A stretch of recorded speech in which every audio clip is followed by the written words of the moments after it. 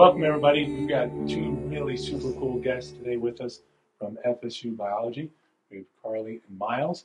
They're going to be talking to us today for about 20 minutes each. We can ask questions during, we'll have some time for questions afterwards. We got amazing presentations, super cool graphics, great information that ties into what we're learning now and to what we're learning next with ecology, and also connect us back a little bit to evolution at the beginning of the year. So Carlie is in her third year as a PhD candidate, biological science at FSU, the lab of Emily Lemmon, who's faculty in both ecology and evolution at FSU's program in neuroscience. She researches speciation in local tree frogs and studies the neural mechanisms that drive evolution. Before coming to FSU, she got her bachelor's degree in environmental science at University of Texas at Austin, then worked as a wildlife rehabilitator Key Largo.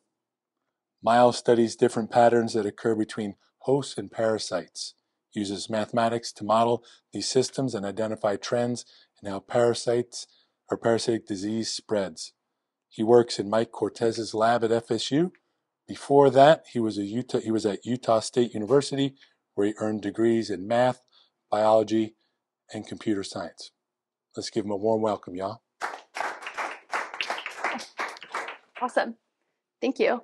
Um, and actually, I think this time, possibly to save time, I think I'm going to save like five minutes at the end for questions. Okay. If that's okay. Yeah. so save your questions. I promise I will give you time at the end. Um, hello, everyone. Uh, my name is Carlie. I'm in the biology department at FSU. I'm really excited to talk to you guys today about my research in brains, behavior, evolution, and frogs. So I'm just going to jump right into it. Um, a big focus in my lab is this idea of speciation. Is the clicker working now? Before I get too into talking about speciation, since you guys have talked about evolution a little bit, does this word even sound familiar to anyone? Yes? Yes, okay, so we've all at least heard this once, so you should know that in a sentence, speciation is simply the process by which new species are formed. So in a very simple sense, speciation is when we have an original population and something happens, in this case it's a geographic barrier, that leads to them evolving reproductive isolation, which means they can no longer interbreed with one another, therefore they are different species. And so my lab really focuses on this step in speciation, this evolution of reproductive isolation. So reproductive isolation is really important for one way that we can define species, and that is the biological species concept, which states that a species is a group of organisms that can interbreed to create viable and fertile offspring, meaning that their offspring both survive and can produce offspring of their own. And so we talk about reproductive isolating barriers as things that prevent that from happening. And so there are two different broad types of barriers. There's prezygotic and postzygotic. Prezygotic barriers are mechanisms that prevent egg and sperm from meeting, they prevent fertilization from occurring to generate an embryo, whereas postzygotic barriers are mechanisms that do allow an embryo to form, however, they do prevent that embryo from developing into a viable, fertile offspring. So a broad question here in evolution is like, why is reproductive uh, isolation even important? I'm going to demonstrate this with a little example. So let's imagine that we have two butterflies. They're the same species. They mate. Over time, they have offspring. And then over more time, those offspring have lots of their own offspring. So this is an example where these original two butterflies have high evolutionary fitness. So in science, we talk about fitness not as being like how much you work out, how much you can bench press, but just how many offspring you have and what is the quality of your offspring. So can they produce many offspring of their own? So in this case, this would be high evolutionary fitness. However, let's say that the same butterfly mates with a different butterfly that uh, might be a different species. They also produce offspring, but it's less offspring, and then that offspring produces even less of its own offspring. So this would be a decrease in evolutionary fitness due to choosing the wrong mate. And when this happens, we can see the evolution of reproductive isolation when there's selection against choosing the wrong mate. And so a big question here is how do species stay reproductively isolated from one another? Scientists have found that there's a lot of different ways that species can stay reproductively isolated from one another. Uh, here I'm just going to briefly run through like five of the big ones. Um, these are only pre-zygotic. However, if you have questions about post-zygotic, I will be happy to answer them. Temporal isolation is where organisms don't interact or breed at the same time as each other, so then they don't get the chance to mate with one another. This example is the 13 year and 17 year periodical cicadas, which emerge at different times, so they rarely get to interbreed. This year is the one exception, so maybe not a great example for this year, uh, because it only happens every 221 years that they emerge together, and it just so happens to be 2024. Another example is habitat isolation, uh, wherein organisms do not occupy the same habitats, therefore they do not interbreed.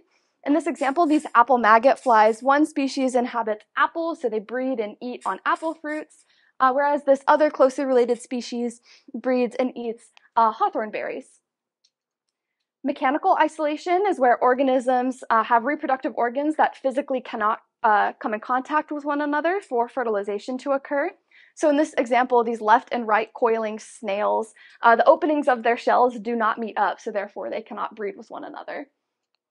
In plants, there's also pollinator isolation, uh, where different species utilize different pollinating animals, therefore they can't cross-pollinate. So this flower on the left is pollinated almost only by bees, whereas the flower on the right is pollinated mostly by hummingbirds, therefore they don't cross-pollinate one another. And lastly, and this one is near and dear to my heart since it is the focus of my research, behavioral isolation is where organisms utilize unique mating displays and behaviors and rituals uh, to communicate their species identity, and that is how uh, typically females select mates. So these birds of paradise are closely related, yet obviously they have very elaborate and unique uh, mating plumage and mating dances that are unique to their species and are only attractive to those females of the same species.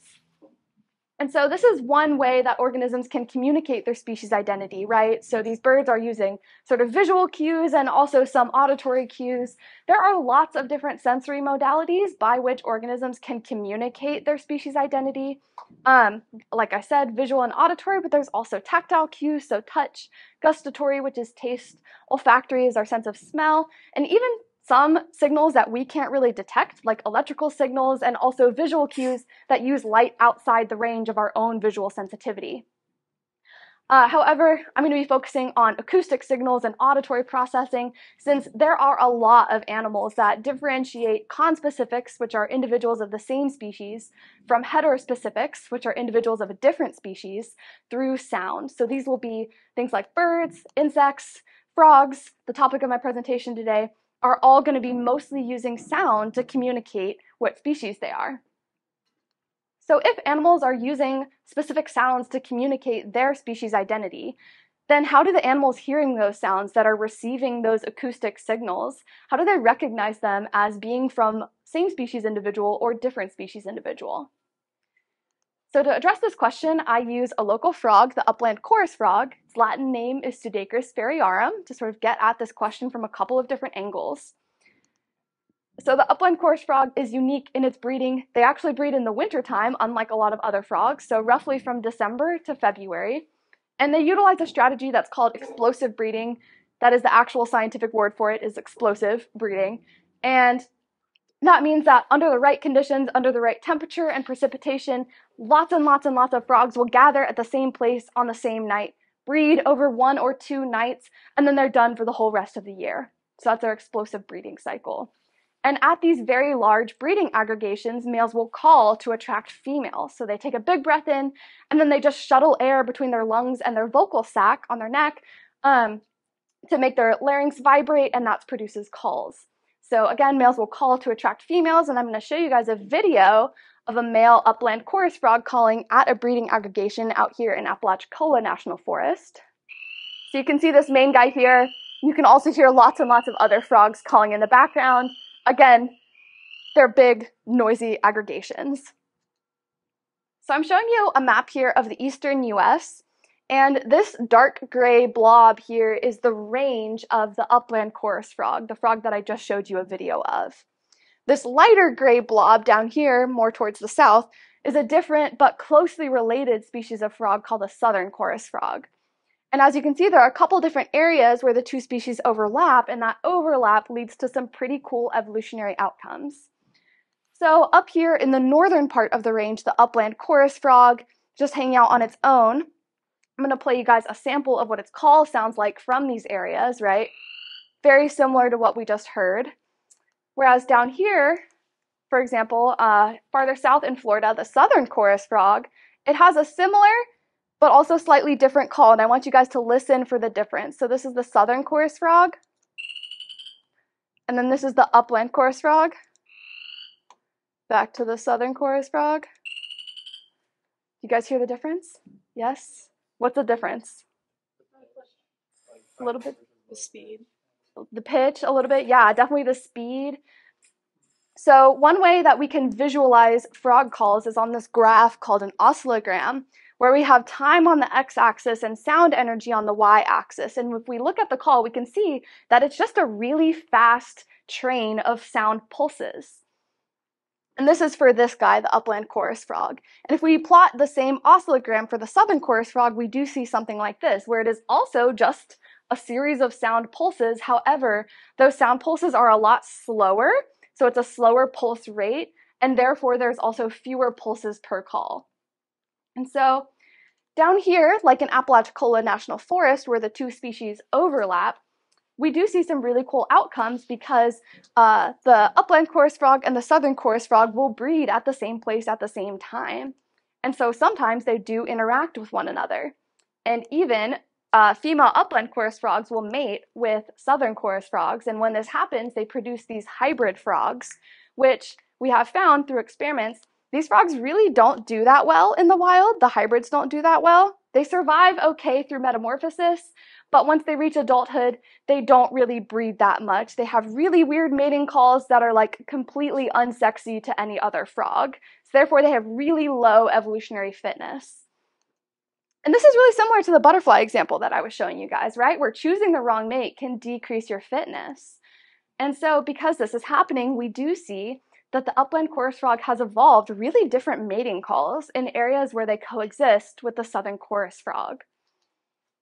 So again, this is our call for our normal upland chorus frog. This is the call for the southern chorus frog. And in areas where they overlap, for example, down here in ANF, their new different calls sound something like this, right? So I'm gonna play you the normal one again, and this is the different one. So kind of different, right? Like you can definitely hear it. And if we plot it on an oscillogram, you can see that there is a really great increase in pulse rate and also the number of pulses. So we can ask this question of like, okay, so these chorus frogs have different calls from these chorus frogs. Um, so does that mean that females will still recognize conspecific males from other populations as suitable mates?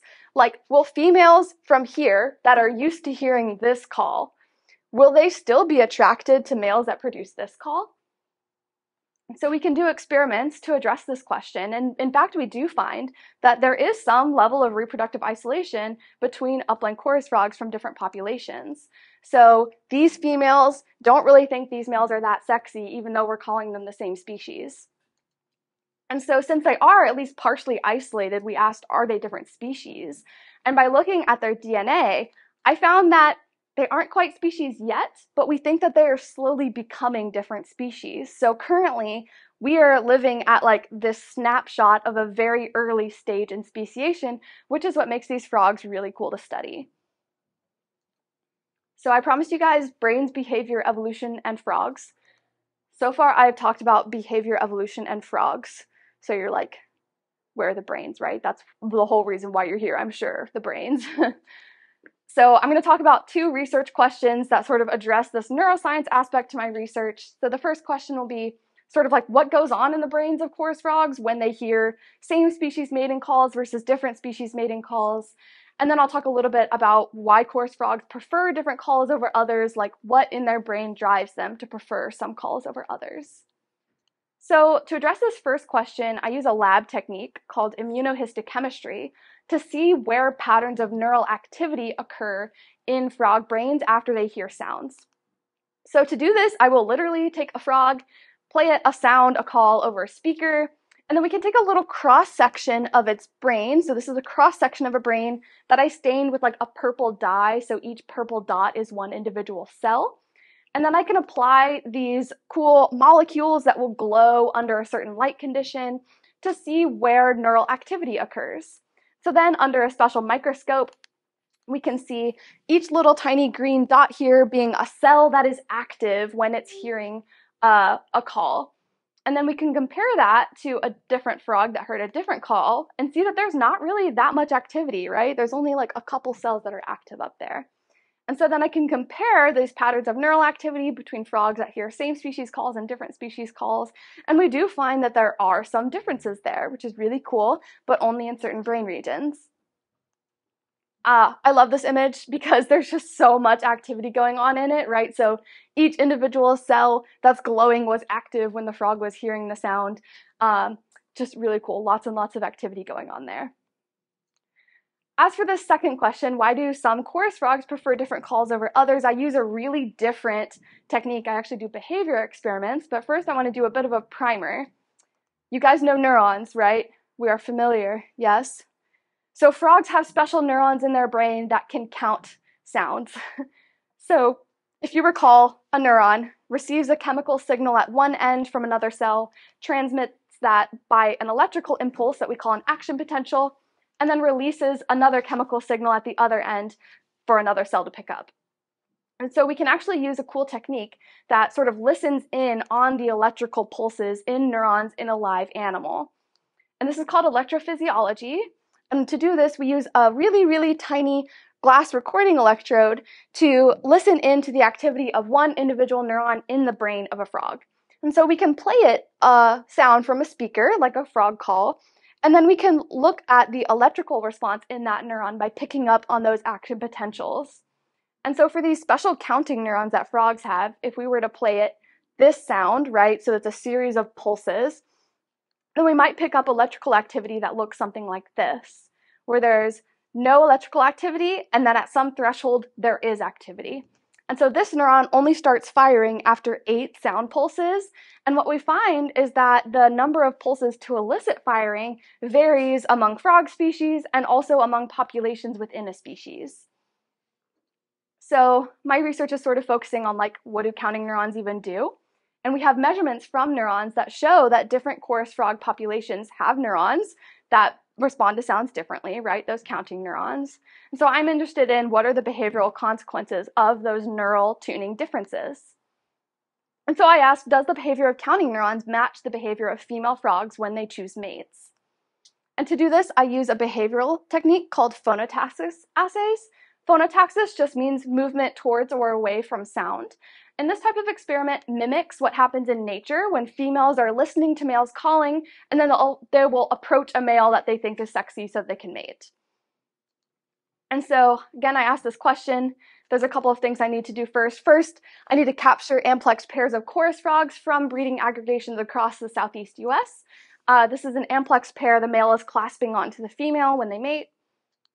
Then I will drive them all the way back to Tallahassee and this is a video I took driving down Tennessee Street in my car with like a bag of a hundred something frogs, and they're very loud. They don't go quietly at all. Very lucky I did not get pulled over. Um, and then lastly, I perform these phonotaxis assays on females to test their preferences for specific calls. And so when I'm doing the experiment, it looks something like this, right? So the frog is just in a kiddie pool with speakers on either end, and each speaker is playing a different call and it's alternating. So the female will start here in the center, then once we're ready to start, she can be free to move around. So the video I'm gonna show you is after several minutes, the female has swam around a bunch of times, sampled both speakers a couple times, and the female is right here, and she is just about to make a choice for the left speaker, and we, the researchers, are watching the cameras, gripping the table really hard, so excited. Yes, she makes a choice. yeah, good frog. oh, it's just playing again.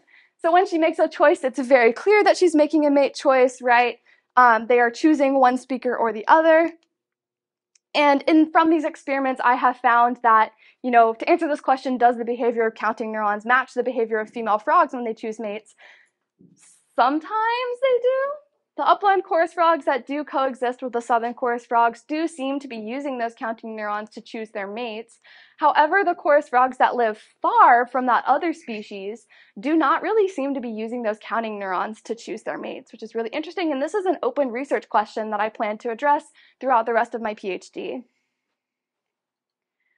So to briefly summarize, this was the title of my talk, um, also known as all the reasons why I love my research. I love getting to integrate these lab techniques uh, as well as doing these really awesome behavior experiments and getting to interact with animals on the daily basis. This is a newly metamorphosed chorus frog, so, so, so small. We have like literally 500 something of them over on campus right now. There's so many. um, and lastly, I do want to remind you that although I'm a scientist, I'm also a normal person. I know that when I was in your position, I very much like put researchers on a pedestal. Um, however, I want to remind you all that I am also just a person. Um, I did not always think that I was going to be a scientist. I thought that maybe I was going to be an artist or a dive master. Um, so my path to get here has not at all been linear. And I want to remind you all that you can have your own interests, and no matter where you are, the path to being a biologist is open to you. That being said, if you have any questions or inquiries about getting involved in research, maybe you'll go to college in a year or two, um, any advice on getting into research, I am definitely here for you. That's my email. Okay, that's it. I think we have like a couple minutes for questions.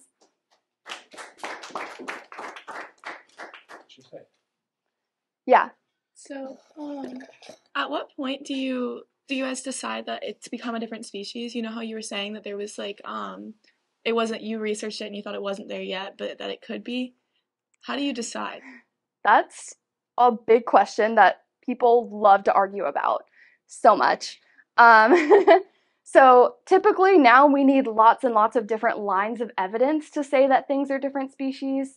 So typically we'll look at their behaviors, especially we'll look at their DNA to see if their DNA is different enough to call them different species. Um, typically we need like lots of evidence to show that. And for this example, there is some behavioral evidence that they're becoming different species. However, the DNA doesn't quite show it yet. Are you doing the DNA analysis in your lab or is that outsourced or? I have already done it. It is published in Ecology and Evolution. Oh wow. Yeah. Um, so I was wondering how you look at the frogs' brains. Like obviously they're too small to like scan. How we look at what? Like their brains, like how you do like a cross section. Mm-hmm. Yeah. Yeah. So um, I dissect them, and then I use a special machine. Well, I'll dissect them and then freeze them so they're really cold, like negative 80 degrees Celsius.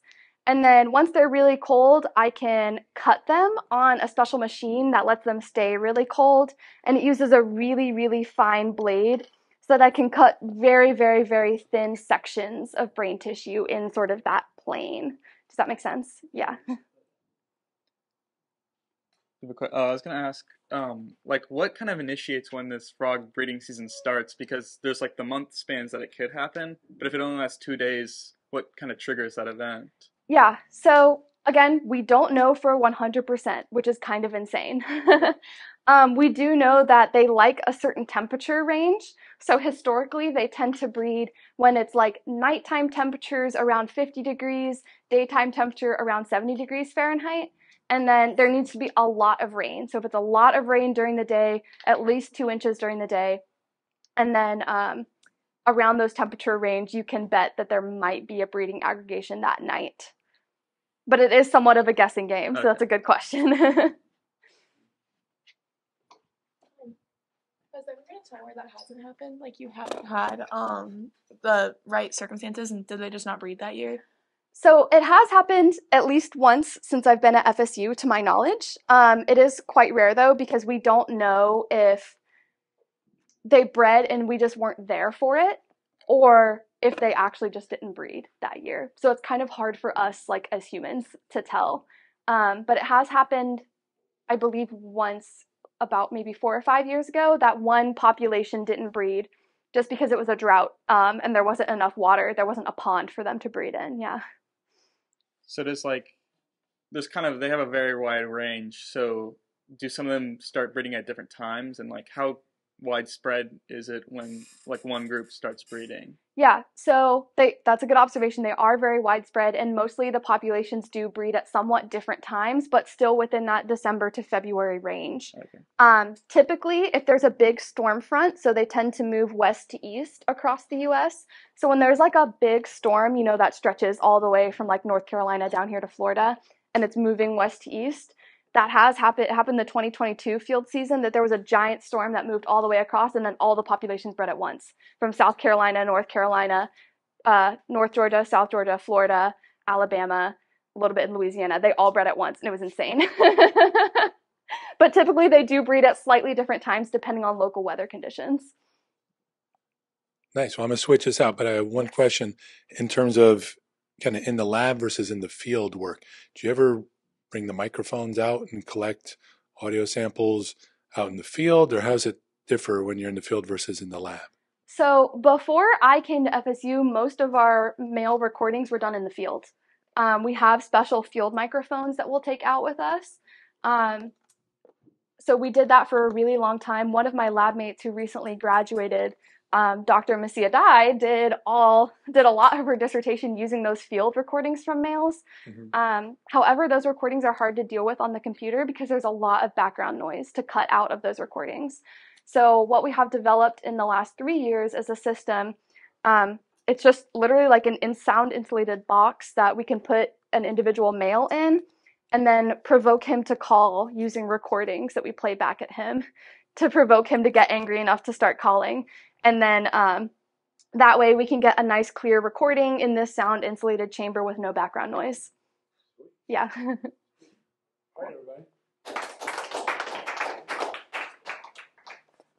Hey everybody, I'm Miles. So um, what Carlie does is incredibly important to ecology, which is just um, very generally speaking the study of interactions between organisms. And so she, what she does is a little different than what I do, um, she goes outside and goes and looks at real life organisms and measures things about them and asks questions about them. So that's what's called an empirical ecologist, meaning someone who's based off of data and reality. Now, on the other hand, I um, play pretend all day. I am what's called a theoretical ecologist. And what that means is I use mathematical models, computer simulations, and just basically broad ideas about systems like uh, like chorus frogs. Um, I don't work on that specifically, but um, things like that to try to make big claims across species. So, for example, um, you could make a model about how frequently these frogs mate and talk about how quickly you expect the population to grow. Um, now, that's just predictions, right? So, um, the, the best things that models are used for are, first of all, to just trying to see if our theory about things are right. So, is it correct to say that, you know, for example, with Carlie's research, if it rains this much on this day, and this much occurs, uh, and this much, um, what was the other besides precipitation? Temperature, of course. Um, uh, if it's this warm this day, I expect this many frogs to show up. And so this is a way to test our ideas. Is it accurate to say that this will cause this kind of things? So that's what models can help with on one side of things. Another thing is sometimes we're interested in the specific rates or the specific numbers of things. So what I do is I study parasitic diseases specifically, and so I might be interested on how quickly does do things spread. And the thing is, you have like a rough estimate. Like COVID, we would all say spread fast, and other things like Ebola spread um, so fast that it burned out. This is almost the opposite um, in some ways. So um, besides looking at just testing our real theories to see if it matches reality, we're also sometimes interested in measuring and making measurements about things through models to try to guess for one person who's sick, how many people are they going to get sick, kind of things like that. Then finally, we might be interested in asking how long is this going to last as far as a disease go goes. Like, for example, all the models that we have seem to suggest that COVID is unfortunately around to stay. It's going to be like a new seasonal disease which is very unfortunate. I was not a fan, um, but it's still with us today. So um, those are kind of the the big three reasons why you might want to model epidemics, um, and and just systems in biology in general. Now, what I'm going to talk about today is first of all, I'm going to talk about how do you collect disease data in the first place. So how do you measure how this stuff spreads through populations? How can you tell how many people were sick? Then we're going to talk about how um, different models are available to us to talk about the spread of disease and how different ones are better for different situations. Then we're going to talk about how to analyze them. How do we actually get answers from these things? What's the point of making a model without analysis? There is no point, um, is the idea. So uh, we'll talk about those three things. So to start with, we'll talk about collecting disease data itself. So first of all, you can have what's called infection tracing, and what we have here are I's and S's. I meaning infected, and S meaning susceptible, aka not infected. So um, for a given disease, a person might be able to say we, we know this person and this person um, are sick. We can ask them, who did you get sick from? And sometimes they, that, those two people will have an answer. They'll say this person. Who did you get sick from? We'll ask this person. We go up the chain, up the chain to try to find out where it started and how it spread. Now, this is not always possible. I got sick a couple weeks ago. I still have no clue where I got it from. I'm still upset about it. I'm very bitter. So, um, but regardless, um, what's this? What's that? You're gonna find out. Yeah, yeah, yeah. And I'm through with that person once I find out who got me sick. So, um, the alternative besides infection tracing is also contact tracing. So instead of just focus on who's infected, you can talk about who contacted who. And that is an even bigger set of data than this one because this is just looking at infected individuals. This is asking infected individuals who did they contact. And that can give new information where possible to collect this data. So for example, you could see, okay, this person contacted 20 people and only five of them got sick. So there's like maybe you could say 25% chance that the disease will transmit from one person to another. So that gives different information where possible to collect. And then finally, um, you can do what's called diary-based studies where you're basically asking people to go back to their own records to see when they got sick. And this is not very reliable data, but sometimes it's all you have. So um, with that, data in hand, you it's good to be able to pick a direction to go with modeling. Now, a model in general is just um, like a play toy. These three things you could say are models. Um, this is a rhino of a, a model of a rhino, but it is not very realistic. Uh, I don't mean to offend. Um, I've never seen a corner like this on a rhino before. Um, maybe if I'm, yeah, I don't know what. Uh, but but there's plenty of stuff that's very helpful about it. It's recognizable as a rhino. It has a lot of like the same limbs as a rhino, all of them, in fact. And um, the idea with a model is that it's supposed to be like a play toy.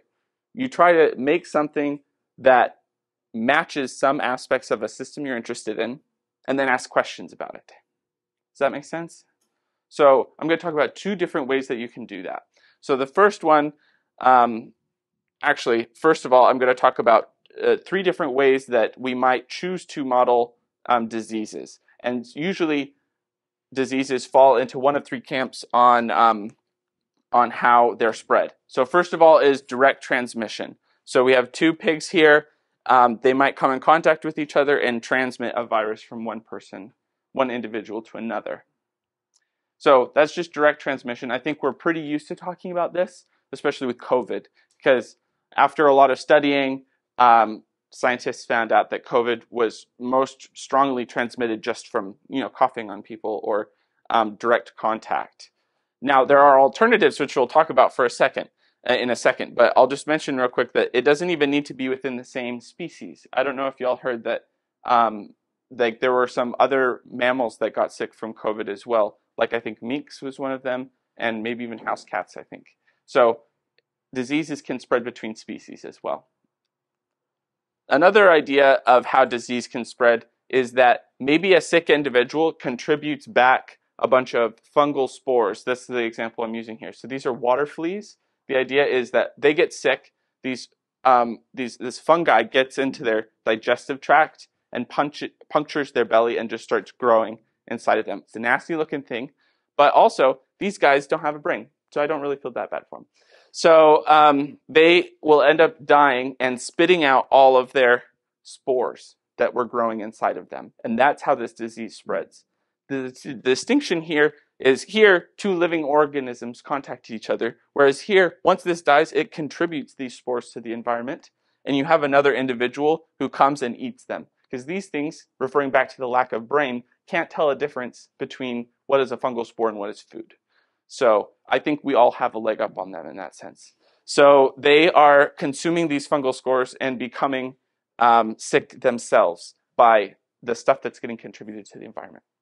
So stuff like this, um, as far as in humans, um, are a little bit more uh, gross, uh, like things like um, MRSA, which is a bacterial infection that sometimes you'll hear about an outbreak happening in like a wrestling team or something because they didn't sanitize the mats well. So that would be like a wrestler who has a, a rash is, you know, wrestling as they do, and then gets some uh, bacteria on the mat, and then someone else comes and touches it. It's different because that person wouldn't have to even see a person to get sick. They just have to interact with the environment. A little different that way.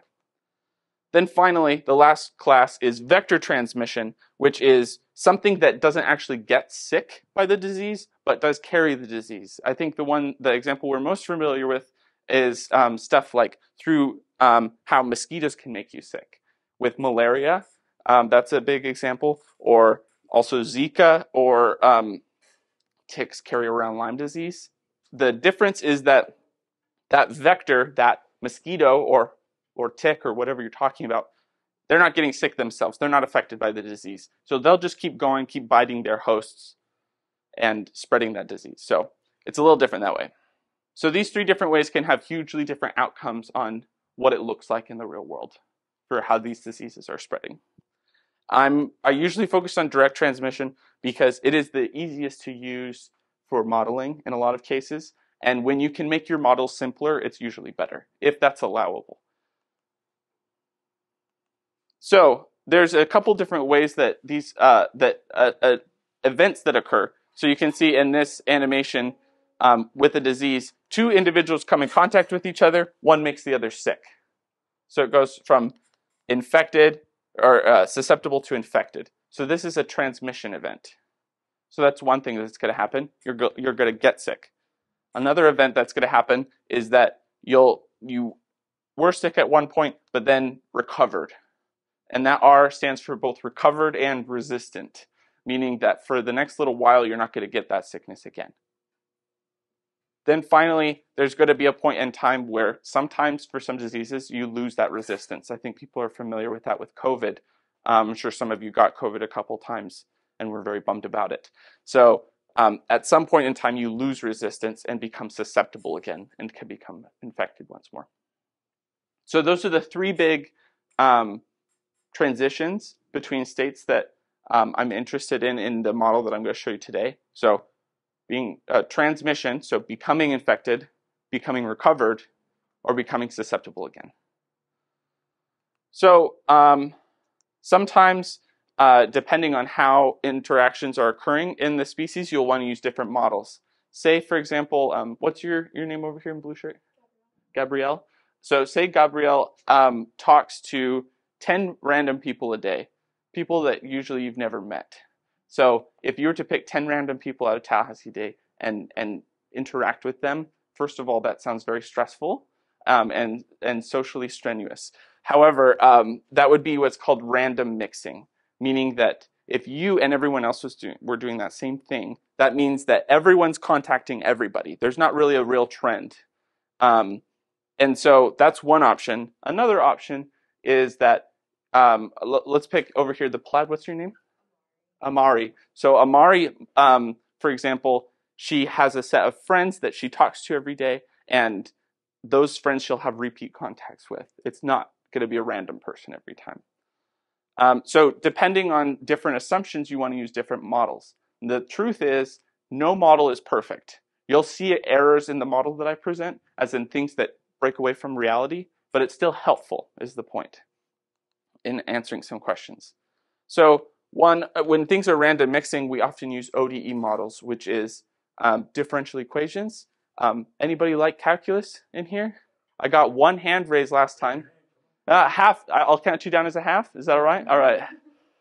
So, uh, did you get a half hand raise? That makes one interested person in total. So, the idea here is I'm sure you're familiar with the derivative from your classes. The idea is we're trying to see how quickly is the number of susceptible people changing and the number of infected people changing, the number of resistant people changing. So, we relate that derivative in time to events that are occurring and I'll talk about that more in a second. But then alternatively, we're also we can also use networks to talk about people who have sustained connections with individuals. And then, am I right that I have about is that uh, about seven minutes left ish? Yeah. Four questions. Okay. So here's what some of those um, equations look like. I'm going to skip over these because I want to focus mostly on the second one. But um, this is kind of what those equations look like. This equation is literally just saying the number of susceptible individuals is changing because people are having babies, um, people are becoming infected, and people are dying. So that is, you can imagine that you can, for each of these classes, you can just talk about how could someone become susceptible or stop being susceptible. And you just include those things in these equations and then hit play on the computer and just see what happens, more or less. Um, or use math techniques to analyze that. So that's one option. And I usually do these, but I'm also a really big fan of network models, which um, take the idea of um, sustained connections with people. So um, mechanistic rates are what we talked about before, infection, recovery, as in um, becoming resistant, and then loss of resistance.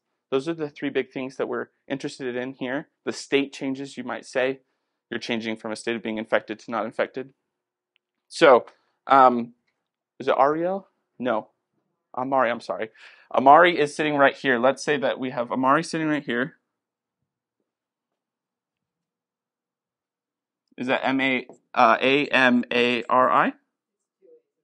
Okay, A A M A R I. Right? Okay, and then right in front of Mari is Eli. E L and then I'm going to put both I and Y. How's that? You get both. Um, and then to the left, Miranda. Okay. So um, I can see over here. And you want to help me out? M M I R. Okay. I can do the rest. I bet. Okay. So we got these three people that are kind of connected with each other. Let's say that Amari, unfortunately, regretfully, is sick with something that is directly transmitted. So what we could say is that in one time step, meaning like maybe like one day in class, there is some fixed probability that Amari will infect Eli with an I and Y, or alternatively Miranda. All right. So let's say there's like a 50% probability for each of those. So what? Oops, I guess I lost that part with you. Okay. There's a 50% probability for both of those. So basically, for a given day, we flip a coin and see does Eli get sick or does Miranda get sick? And then we can also ask the question that with some probability, what is the, the chance that Amari stops being sick and becomes resistant? And then you can do that over and over again.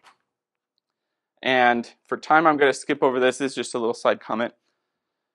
So, as far as analyzing models go, I'm going to um, show you some animations that will show how um, different values of these rates that we're interested in can have big impacts on how the disease turns out.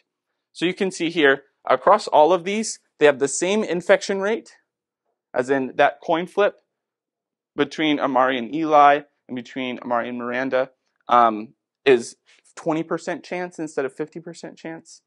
And then recovery rate, the chance that Amari will become recovered and resistant is a 10% chance every day. So that's the same for all of these.